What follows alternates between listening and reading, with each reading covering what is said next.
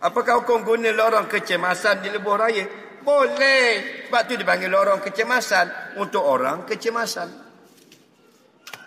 Apa hukum orang yang kecemasan tak boleh lalu di lorong kecemasan? Tak jadi lorong kecemasan. Tahu tak? Ha, jadi boleh. Yang tak boleh, orang yang tidak kecemasan, buat-buat kecemasan. Ha, Itu tak boleh. Islam la darara. Jangan mudarat orang lain. Soalan seterusnya.